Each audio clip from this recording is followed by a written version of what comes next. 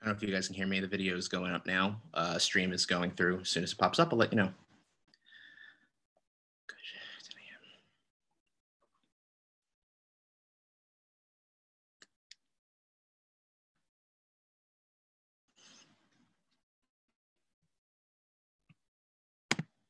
Hey, everybody. Hi, we're live. Good morning. Um, welcome to Tropicon Live. Uh, we're all very excited to have you all here with us and be able to bring a little bit of Tropicon home to all of you from the comfort of your couch and living room. Um, very grateful to have such an amazing community here at Tropicon. Uh, we can't do this in person this year, unfortunately, due to the ongoing health crisis. Um, but hopefully next year, uh, under much safer circumstances, we'll be back at the hotel all together again.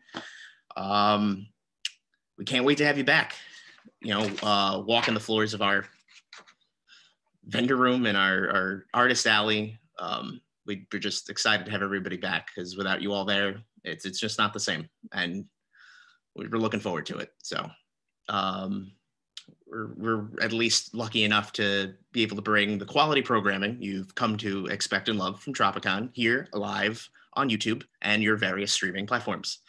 Um, without further ado, let's get started uh, with our mermaid story time. So let's get started. Hello there, everyone. Welcome to Long Island Tropicon 2020. We're so excited to be swimming on back to the surface to see all of you again. my name is Mermaid Kalis. And my name is Mist, like the sky after a storm. And we're mermaids. now, have you ever met real mermaids before? You haven't? Well, then today is your lucky day and you're in for a fantastic time. We're so excited to get to share some of our very favorite stories from the sea with everyone today. Do you like to read? Raise your fins nice and high if you like to read with your pod. Oh, a pod is what mermaids call their family. Do you like to read together? Oh, that's splashtastic. Mermaid Kalis and I come from different parts of the sea. So when we meet up on a sandbar every now and then, we like to trade the stories that we've heard from my kingdom and hers, and then we get to share them with all of you. So we have a couple really fantastic stories coming your way today. And again, many thanks to Long Island Tropicon for inviting us back up. Oh, Kalis, why don't we start with one of your very favorite guides about becoming a mermaid or a merman? That's right. So the first story we want to share with you this morning is called Mermaid School. Now, have you ever been to mermaid school before? Well, you must go to human school, right? Well, humans have something called school. It's like a school of fish where you learn numbers and cartography, like like creating maps oh. and they count all the fish in the sea. They do all sorts of wonderful things in the human world. Humans are very smart. I don't think a lot of merfolk give them credit. well, now you get to learn about what mermaids do in school. And so this book is Mermaid School by Joanne Stewart Wetzel. I'm so excited. this is fantastic, Kalis. So, just like every morning, I brush my hair I shine my tail. I cannot stop to play. It's time to leave for mermaid school. Today is my first day. And this is Mermaid Molly. She's going on a big adventure starting mermaid school.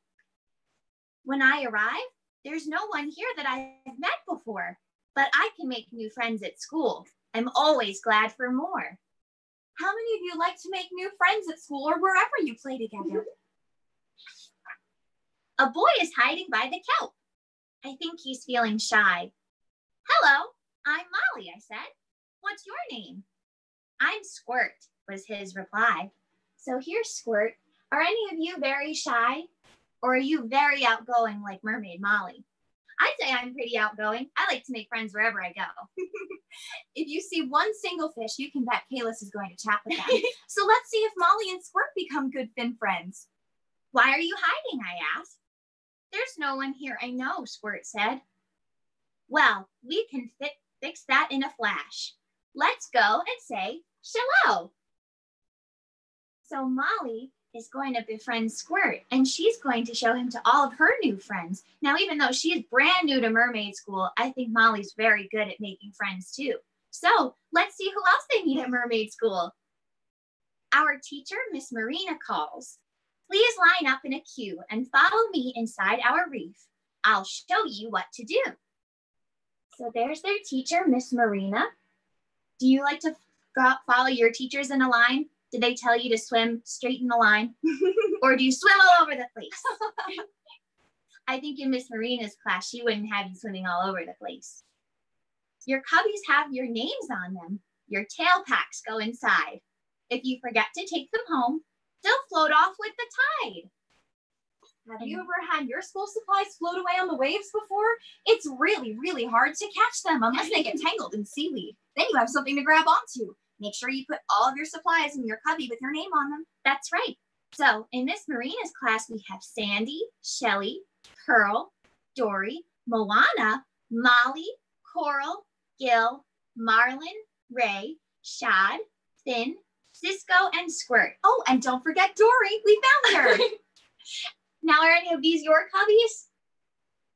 Make sure you put your tail pack in there if you do. Has anyone seen Nemo? Oh, he's in another class. Miss Marina hands out seashells. We count them one by one. We add and then we take away until we're back to none. So just like humans, mermaids do math too. For art class, we use shells again to make things that we can wear. Just like the crowns that we wear. We string them into necklaces and I braid some in my hair. You can make so many wonderful things with the things around your house, like shells, or you can even use sand. To memorize the alphabet, we sing our A, B, C's. Soon we know each other's letter sounds and learn to read with ease. So for A, we have the Arctic Sea. For B, the Baltic Sea. For C, the Sea of Crete. For D, the Davis Sea. For E, the East China Sea. F is the Flores Sea. And G is the Sea of Galilee. Now, are any of you from those seas? If you are, that's a really long way to swim. Our music teacher comes in next. Her name is Miss Lorelei. Her trumpet fish accompany our notes from low to high. And when they play a faster tune, her drum fish join the band. We swirl our tails and hand in hand, we dance across the sand. Do you like to have a big jamboree under the waves? Do you like to dance under the sea too? it's always fun with Miss Lorelei. She has so many wonderful fishy friends in her band. And flipping your fins with your friends is the best. It's time for recess. Let's go play. We check out everything. Squirt builds a row of sandcastles, and I ride the great kelp swing. We shoot up in a water spout, and then we play hide and seek. When I was it, I found them all. And no, I didn't peek. Do you have lots of games that you play when you're at recess? Do you like to play redfish, greenfish, one, two, three? Kalis is so fast. She always wins. There's clam burgers for lunch today, along with seaweed pie, and frozen salt pops for dessert. There's nothing I don't try. We hurry back for circle time as our food digests. We play a game, we sing a song, then comes the very best. What do you think the very best is going to be? Well, you know, miss, but we don't want to spoil it for anybody else. I don't know. I think clam burgers are pretty much just the bubbles themselves. Our teacher reads a story she calls a fantasy of boys and girls who have no tails and can't breathe under sea. So here we are listening to story time about boys and girls who have no tails they must be talking about humans, just like you. wow, they're having a story time about you. Well, we're having a story time about us. Miss Marina sticks a starfish by each name on her chart. That means everybody did a fantastic job in school that day. Do you ever get starfish next to your name at school? I'm sure of it. She says, let's sing the goodbye song before we all must part. I can't believe it's time to go. How can the day be done? The hours have just flown by because mermaid school is fun. Do you sing a song before you leave human school? If you don't, maybe you should bring a song in and that can be your goodbye song. The tide comes in, the tide goes out, and mermaid school now ends. Tomorrow we will all be back to play with our new friends. Goodbye as everyone gets ready to go home. Now, Did you know that there's a mermaid school handbook? You didn't? Oh, this is your handy dandy guide for everything under the sea, especially when you're going to mermaid school for the first time. And I'm pretty sure a lot of these rules can go for being at human school of fish too. That's right. So here are some rules and tips you might want to know when you go to human school. School is no place for your family pet. Please leave your dogfish, catfish, or seahorse at home. you don't want a dogfish running around crazily in your classroom. Dogfish like to play fetch. Oh, do you know what a dogfish is? A dogfish is a kind of shark. You can find them swimming around the North Fork of Long Island sometimes, but don't worry, they don't bite. new, new students, if you meet a new mermaid or merman swimming by, ask their name and tell them yours. It's a great way to make fin friends. So I always like to introduce myself by my name and then a fun fact. So when I say my name is Mist, like the sky after a storm, that's a good way for my new friends to remember my name. And I like to introduce myself as Kalis. And I come from the kingdom of Amaranthia, where the sand is soft and my favorite color, pink. now you can help protect our planet and keep it blue. Protect the living creatures that make our planet beautiful. Be careful of swimming near fragile corals, jellyfish, or sea anemones. Give passing schools of fish the right of way. That's right. Humans are visitors to the ocean, so we need your help in making our oceans clean and safe, especially for the creatures that live there, including mermaids. And be careful swimming at the beaches. Do you know what today is? Today is one of the first days of August, which means it's jellyfish season. Make sure you give those jellies a wide berth. Make sure that when you're playing together, you practice playground courtesy. Wait in line to take your turn to ride that big kelp swing. Always be courteous and always take turns. Make sure no one lives in a cave before you hide in it while playing hide and seek. Many caves in our neighborhood are homes to octopi who may squirt ink on uninvited guests. Octopi are very, very shy, so you have to be very quiet and make sure that they know that you're a friend. Or else you might get a face full of octopus ink. But if you always ask nicely and treat them very kindly, octopi are great friends. They always come to you when you're in need because they can lend you an arm or eight. and the humpback whales that migrate past Kalis's mermaid school have asked that the students stop tickling their stomachs when they swim overhead. oh, and of course, there's after school activities at mermaid school too. On Tuesdays, you can join the choir singing with our school choir and our world famous music teacher, Miss Lorelei, whose enchanting voice became legendary when she sang to ships sailing on the Rhine River. And she'll conduct us. Oh, I want to be able to sing as well as Miss Lorelei. She has such a beautiful voice. It's legendary. and one of the other club activities is water ballet. When you come to mermaid school, you can join the synchronized swim team and learn how to do all sorts of tricks like torpedoes and barrel rolls and the dolphin kick. I hope you can all join us at Mermaid School one day and that you can bring the lessons we learn at Mermaid School back to human school. and hopefully you can give us some lessons on what you learn in human school. We love to learn about human stuff all the time. Kalis is somewhat of an expert about human things, so she teaches me a lot. oh, I know. Since we were talking so much about protecting our fin friends in the sea, why don't we read a book together about protecting a seal pup? Oh, I love that. Kalis and I are going to read this one together. So make sure that all of our guppies at home, we're going to follow along with the story and then some science facts about the creatures that live in the sea and what you can do to help them. So this story is called Spot, a Sea Pup's Survival Guide by Lauren Knight. So this is the story of a little seal pup who gets into a bit of trouble, but luckily has a friend around to help him out. And how do all good stories start on land? Once upon a guppy? Is that right? That's close, I think. Once upon a treasure? That's even closer. I do, I do think it starts with a T. Hmm. Once upon a a time. That's it. now, Spot is dedicated to all of the guppies who will grow up and protect our oceans. That's you. Ready, Kalis? Ready. My name is Spot and my fur is thick and short. Racing my pals underwater is my favorite sport. Spot is a Guadalupe fur seal. Guadalupe fur seals spend most of their lives out at sea. Their furry, thick coat keeps them very warm in the winter. So here's Spot.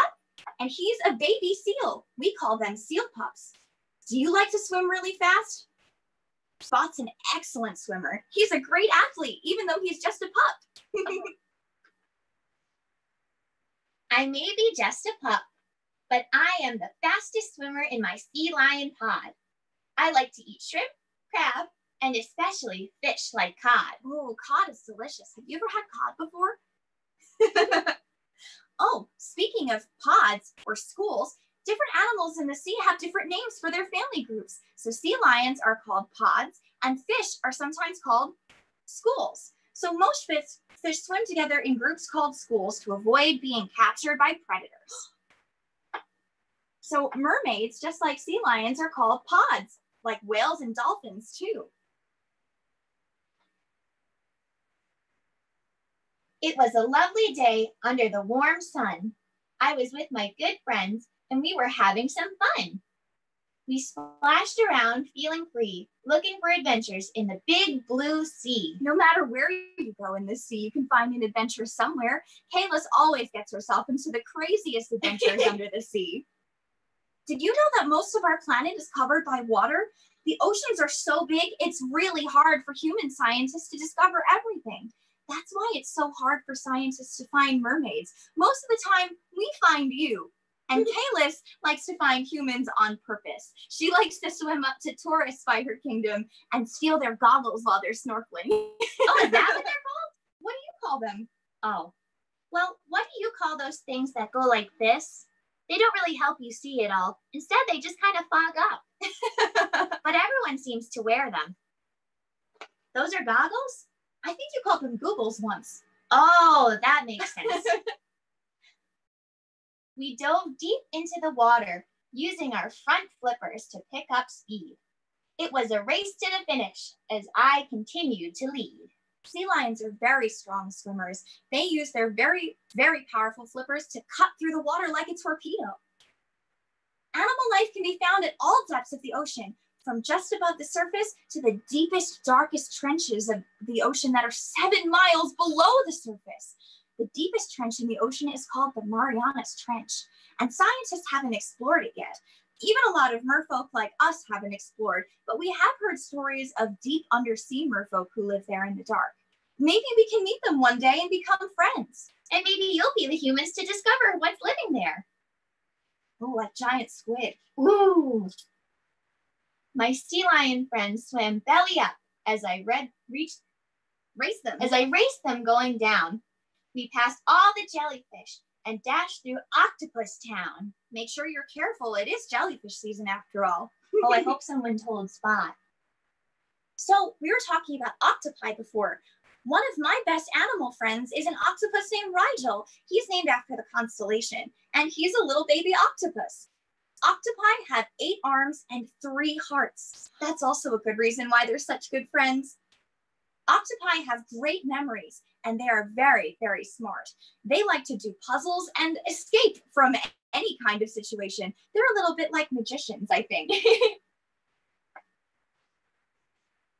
I used my whiskers to navigate the ocean's current and found myself ahead of the pack.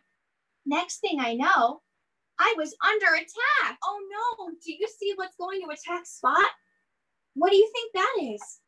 Well, let's find out. That looks pretty scary. Oh, and this looks pretty scary too. The hammerhead shark's unusually shaped head with the eyes positioned far to the sides gives this shark unique binocular vision to hunt for food. Now, not all sharks are scary. Most of the time, sharks just want to be left alone. So, do you think a shark is going to tra- travel after Spot? Do you think so?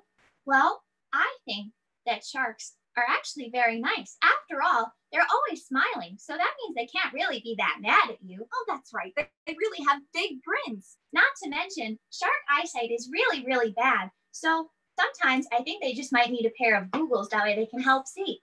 Besides, when sharks come up, they really don't know what it is that you are. They might think that you're a seal or a turtle. But if a shark comes up to you and you tell them, Stop, I am a mermaid, they will say, Oh my goodness, I am very sorry. Please go on your way. So, what do you think? Do you think a hammerhead shark is after Spot? Or oh. something scarier than that? Oh, that's scarier. Definitely scarier. I was trapped in a net full of plastic and trash. It would wrapped around my neck tighter and tighter with every kick and thrash. This is what we call a ghost net. Ghost nets are what human fishermen use to catch lots and lots of fish without the fish seeing the net.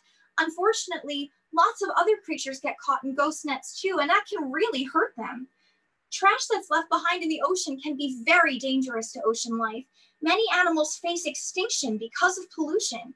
Creatures like sharks, sea turtles, seals, and sea lions, and even dolphins have been caught in those kinds of nets. Manta rays, too. Ghost nets are very big and very sharp, and the more an animal struggles to get out of the net, the tighter it wraps around them.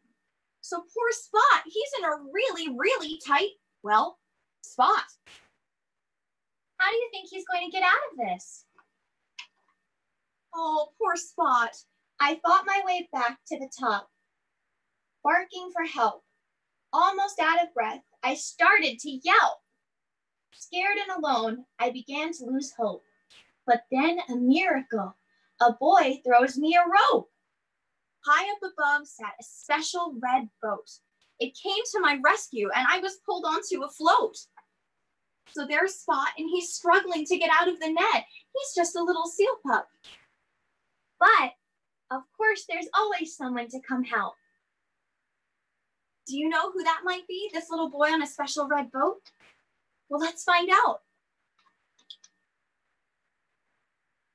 Untangling the net and checking my pulse were key. Along with the boy, animal doctors were taking care of me. We sailed to a marine center 20 miles from home. That's a long way away. It was important that my wounds healed before I could roam.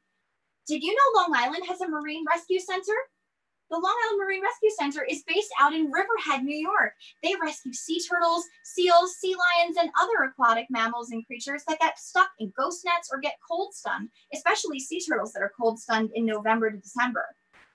So I think Spot's in very good hands, especially since he found someone from the Marine Rescue Foundation. The boy, Charlie, would visit me every day. He kept me company when I was away. He said he was sorry that some humans polluted the big blue sea. He knew all life on Earth was important, even for you and me. Lucky Spot, he had such a good fin friend in Charlie. Charlie did the right thing in getting help for the baby seal. Remember before I talked about sea turtles and how often they get stuck in ghost nets or can get cold stunned in the ocean? Here's a fun fact about sea turtles, especially since Long Island has several different species of sea turtles that come to visit. Sea turtles are hatched from a tiny egg on land, but they're usually spending their entire lives out at sea. Most sea turtle species are considered endangered. Do you know what kind of species of sea turtle that is? That's a green sea turtle. They're the most common species of sea turtle. With the help of my new friends, I am now healthy and strong. I can travel distances that are far and long. Looks like Spot was able to swim those 20 miles back to his home and back to his family safely. Thank goodness. What a relief. sea lions, seals, and walruses are part of the same marine mammal family. They're called pinnipeds. The sea lions play together and they sound like barking dogs when they talk to one another. Did you know that there's a big difference between seals and sea lions? You can tell visually because seals have invisible round ear holes that are internal. Sea lions have external ear flaps. So if you're trying to tell the difference between Daisy the seal at the Long Island Aquarium and Java the sea lion, just look for their ears. That's a good tip. So how can you help marine mammals like Spot and his friends? Sometimes help comes from unexpected faces. But that's what makes the world connect in all sorts of places. We have friends and volunteers like the little boy Charlie. We have surfers and lifeguards who are on the beaches and can watch out for swimmers and animals alike. We have veterinarians who are animal doctors. And we have marine biologists. They're scientists who study marine life. They track the patterns of different animal movements and they help care for animals in need too. Have you ever seen the biggest fish in the sea? The whale shark is the largest fish in the entire planet. They can grow up to 46 feet in length. And for those of you who don't have feet as a form of measurement, that's longer than a school bus. Wow. This is a juvenile whale shark. So that one's pretty little, all things considered. Now, are you as long as a whale shark? Or will you grow as long as a whale shark? I don't think so. Guppies are very tiny humans. so here's another way that you can help. Be responsible and pick up trash that's left behind on the beaches. So Earth will be safer for all of its kind. Oh, Kalis, this one's about seahorses. seahorses are named for the shape of their head, which looks like the head of a horse. A baby seahorse is about the size of a jelly bean. Now, we don't have jelly beans under the sea, but we do have something similar. Mm-hmm. Those are kelp beans. And kelp beans are very, very, very tiny. But instead of being sweet, they're salty. We like to eat them after lunch. Before I swam into the ocean, about to say goodbye, Charlie and I promised to share this survival guide. Be brave and protect our big blue sea because Spot needs friends like you and me. Kalis, what can some of the guppies do to protect the ocean at home? Sure. Kids can do a lot of things to protect the ocean, like picking up trash and making sure plastic bottles and bags never get into the ocean. You can make a big difference, especially for Spot and his sea friends and mermaids just like Mist and I. So when it's time for you to go out on your socially distanced walk along the beach, why don't you bring a bag along with you and pick up some of the trash that's left behind? You're doing the entire planet a favor. the end. Oh, that was a wonderful story. Thank you for sharing that with us, Kalis. Well, thank you for sharing that with me, Mist. After all, being able to take care of our ocean is the most important thing that humans can do. But if you see an animal in need, you do have to be very careful. Make sure that you stay far enough away from them and you call for help. That's right. If you're a regular guppy and not an animal doctor or marine biologist, there's a hotline that you can call to help stranded marine mammals on Long Island. Make sure that you call the New York Marine Rescue Foundation. They can help no matter where you are on Long Island. They've rescued whales, sea turtles, seals, and sea lions. And it's also mandated by New York state law that you have to stay 50 feet away from any seal or sea lion, whether it's in distress or not. So even though they look like cuddly friends, they have the protection that New York State gives us. So make sure that you always give them the space they need to play. exactly. Sometimes sea creatures don't know if you're going to play with them or if you're trying to scare them. So they might get a little spooked and jump. Or since fish have different germs than humans do and mermaids, you certainly wouldn't want to get them sick or get yourself sick. Just believe us, having sea lion sneezes is not fun. No, it's not. it gets everywhere. Well, I hope you enjoyed that story about saving a baby sea lion. Now I have a story for you that's about how sometimes even the smallest good deed has the biggest impact. And sometimes the biggest surprises come in the smallest packages. This story is called Pearl by Molly Idle. Now, how many of our guppies are really, really little? Raise those fins nice and high if you're a little guppy. Sometimes when you look at all of the grown-up humans, you might think, what can I do to be different or special? But this story teaches you that no matter what, you have the power to do something wonderful. So this is Pearl by Molly Idle. Oh, I love this story. In the vast sea of blue, some mermaids watched over the waves breaking upon the endless beaches. Some kept an eye on the coral reefs. Merfolk across the sea have different jobs that they have to protect the seas. So some watch over the coral reefs. Some tended to the towering forests of kelp rising from the ocean floor. The kelp forests are home to so many different creatures, and lots of merfolk are their guards. They watch over the kelp themselves and all of the animals that live there. Some guarded the giants of the deep, and Pearl deeply yearned to be one of them. This is one of the giants of the deep. And that little, little mermaid over there is our friend Pearl. She's very little, but she wants to do her best to grow up to be a guardian. Mother, I'm big enough to help too, she said. Yes, Pearl, her mother considered. Come with me. I have something very, very important for you to look after. Oh, is she going to take care of one of the krakens? Oh, I wonder. She's so tiny, but her mother is giving her a chance. What do you think? Oh, maybe because she's so little, maybe she's going to watch all the baby seahorses. Pearl and her mother swam up and up and up, almost to the surface. Oh, and a sea lion pup is following them too. I wonder if it's Spot. They swam up past the breaking waves until the sandy shore stretched all around them. This, said her mother, is yours. What do you think her mother's giving her? The entire beach? That's a lot to look after for one little mermaid. Well, let's see. Pearl's mother placed a single grain of sand in Pearl's hand. Yours to take care for for every day and keep safe every night.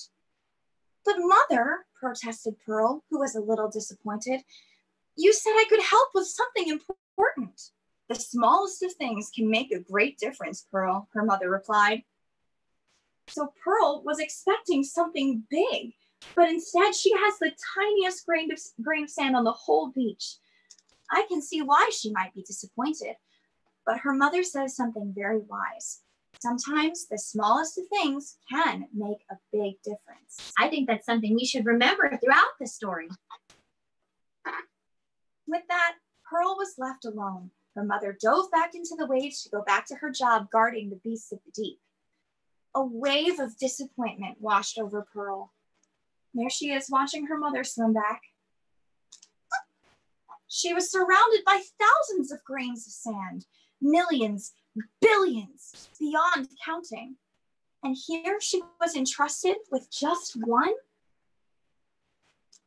What can one tiny grain of sand among billions do? Hmm, I wonder. Pearl's heart grew heavy, and the weight of it pulled her down, down, down. She's so sad. Have you ever been so sad that you felt that you were being pulled down, down, down into the waves? Don't worry, someone is always here to help lift you back up again. And when she hit the ocean floor, the salt of her tears mingled with the sea. Pearl definitely needs a helping hand right now. I bet she can use an octopus arm or two. And a big octopus hug with all those hearts. Pearl glowered at the grain of sand. Can we make a glowering face? Hmm. That means she's frowning really, really hard. Can we furrow our brows? Let's glower at that grain of sand. Hmm. I can't stay mad at you too long. she clenched the grain of sand in her tiny fist. Then, from beneath her fingers came a faint light. But when Pearl opened her hand, it was gone. Pearl closed her hand around the tiny grain again, gently this time. So she started off angry, but as soon as she closed her hand around it, it began to glow like a, like, like a tiny light under the sea, bioluminescent scales of a fish. Let's see what happens when she holds it more gently this time. The sand resting on her palm had a luster to it or a shine to it that hadn't been there before. What is she holding? Oh, that looks familiar. Kind of like her name. what do you think she's holding, Guppies? A pearl. That's right. Every day, Pearl preserved it, even from the beasts of the deep. She polished it and played with it. So there she is playing with a seahorse, and she's taking very, very good care of it. It might be a tiny grain of sand, but it's her tiny grain of sand. So she has to take especially good care of it. I'm sure you take care of little things that mean a lot to you. Every night, Pearl protected it, and very, very slowly, it began to grow and grow and glow. So it's growing bigger and bigger thanks to Pearl's protection, and it starts to glow too. What do you think that could mean? Well, it must be some very strong mermaid magic. And as it grew lighter, so did Pearl's heart. It seemed to buoy them up and up and up Look how big that tiny little pearl is getting. It's getting bigger and brighter by the second, and it's floating them all the way up to the surface until it rose into the vast sea of stars. What now did her pearl, what did her pearl become, everybody? Pearl beamed up at it. It beamed back at her, and its beautiful light touched everything. What did Pearl's pearl become? Did it become the moon? No wonder it's so big and bright every night. It's all the love that she put into that pearl. It sparkled on the breaking waves and all of the coral, creating beautiful new reefs. So Pearl's love is shining its light on everything in the ocean. It glowed in the tides flowing through the towering forests of kelp and illuminated the giants rising from the deep. So there is the light touching the kelp forest, and it's even reaching the big kraken deep, deep, deep in the dark sea. That is some powerful light magic. And that light shone upon Pearl.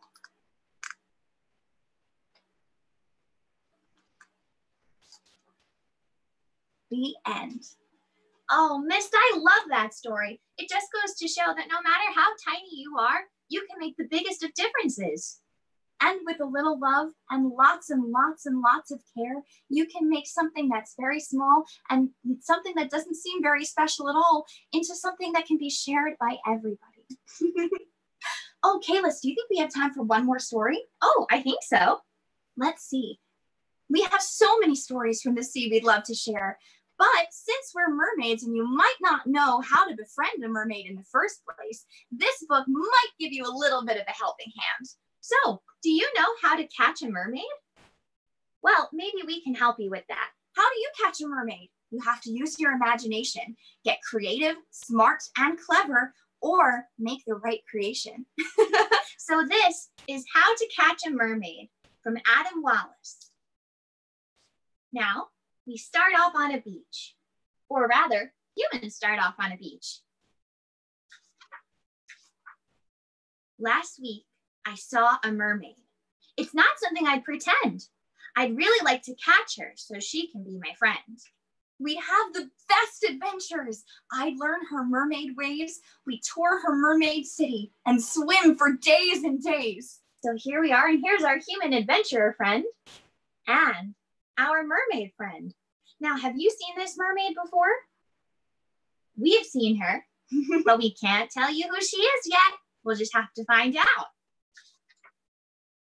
Hey, you two, come follow me. I need you on my team. The water's where we need to plan our mermaid catching scheme.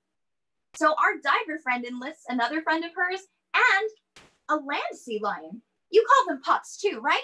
They're called pups on land. That's right. So, in order to catch a mermaid, you're going to need a couple of friends. After all, mermaids are very fast. and you should never ever swim alone. But how to catch a mermaid? You don't learn this at school, not even at mermaid school. We'll need to build a gentle trap and start near a tide pool. Tide pools are where, when the tide goes in and out, sometimes the tide leaves behind water that gets trapped in different rocks. Lots of creatures like crabs and tiny fish like minnows like to swim in there. You can even find sea stars. First, I have this jewelry box. She'll love this bait I bought her. She can't resist a treasure chest. Oh no, it's in the water. So, not only do mermaids really like treasure, but so do other creatures like the crabs. Remember, I mentioned the crabs in the tide pool before? Looks like they're taking the bait right to our mermaid friend. Mermaids love shiny things. Well, mermaids love bright, shiny things.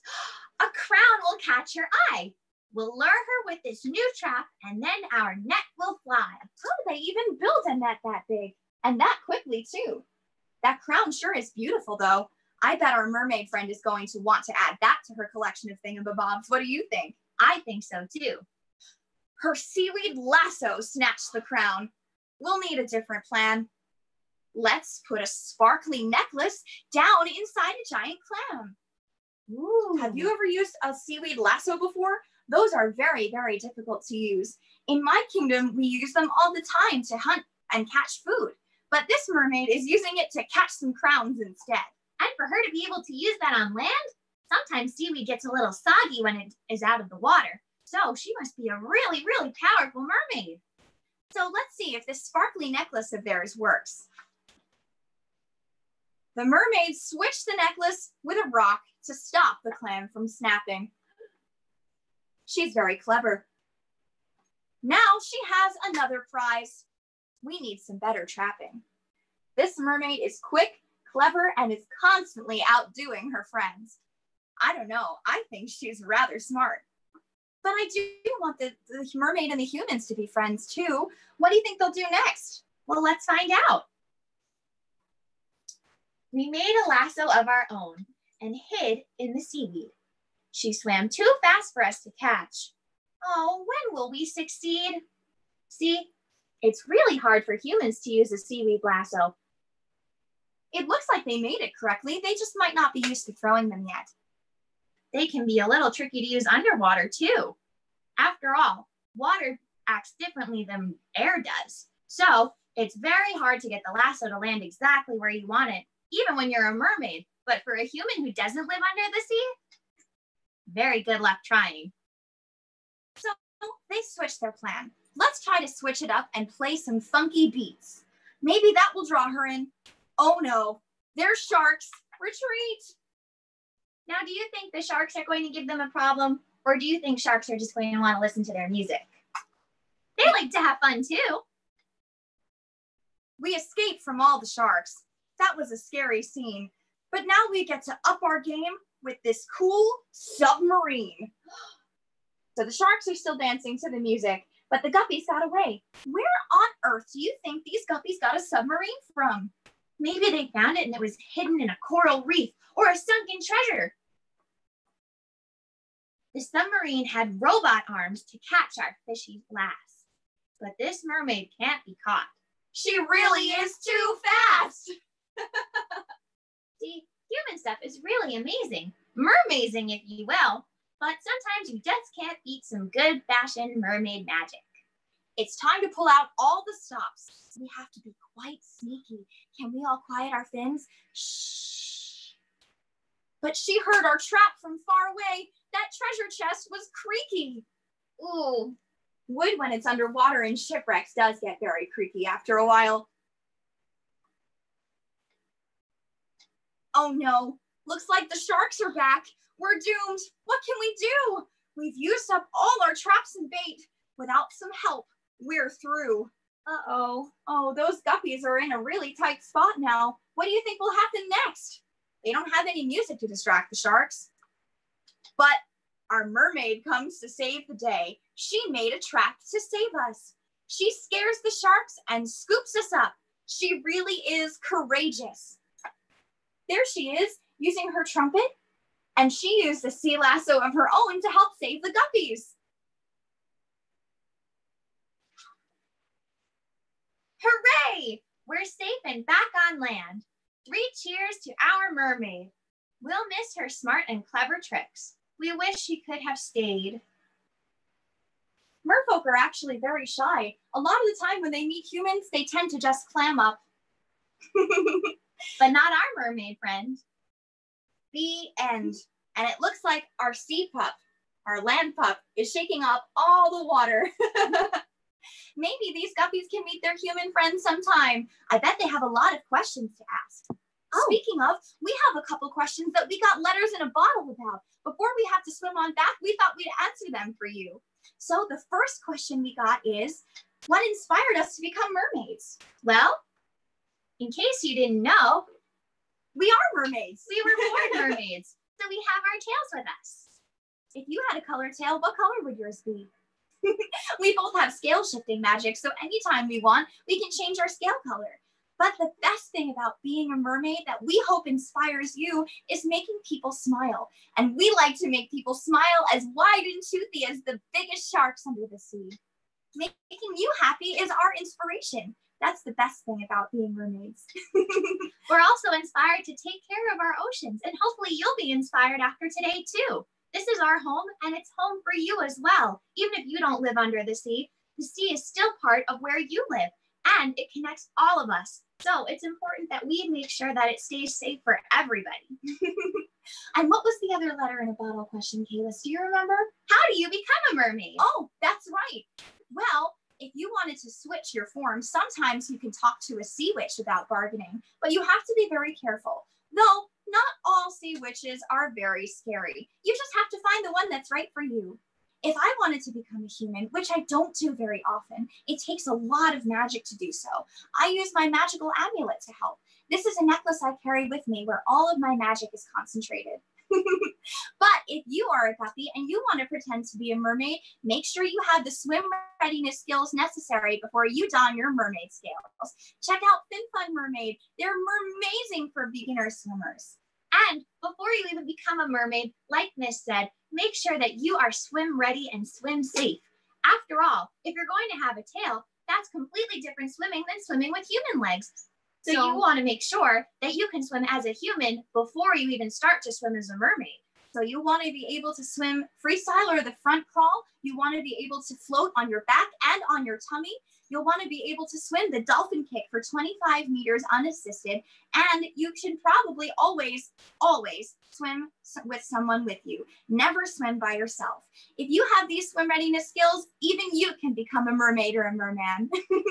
or you can always find a mermaid wishing stone. Miss, you know what a mermaid wishing stone is, don't you? I do. If you find a mermaid wishing stone or a mermaid gives it to you, this is a very powerful piece of magic. What you do is hold that stone close to your heart, close your eyes, and think of the sea as you make your wish. And your wish will come true one day, especially when you need it most. So if you find yourself swimming in the sea and you end up on an island and there's no other land to be found, you use that mermaid wishing stone. And hopefully, if you wish for a tail, that will come in the moment you need it the most. You know what I'd be wishing on my mermaid wishing stone for? What?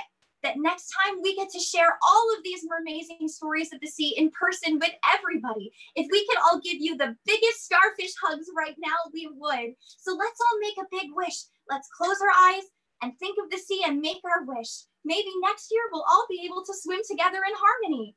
I think we should give each other a big sea star hug. Big starfish hug, everybody. Hug your pod. oh, looks like it's time for us to head back to the kelp forest. Thank you so much for inviting us to swim and share all these stories with you. I had a fantastic time. What about you, Kalis? I had an amazing time getting to celebrate with everyone today and share some of our favorite stories with you. Maybe you can send us a letter in a bottle and you can tell us what your favorite land stories are. And then we can share that with Miss Marina's class at her mermaid school. That sounds like a blast. Thanks again, Tropic Con, for having us and have a fantastic day, everybody. Bye, bye bye.